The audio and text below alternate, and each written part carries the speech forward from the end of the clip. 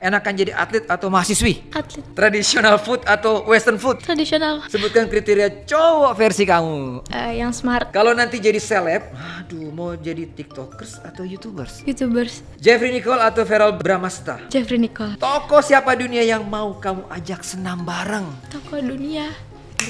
Hollywood itu atau apa? Bisa. Bisa Johnny Depp.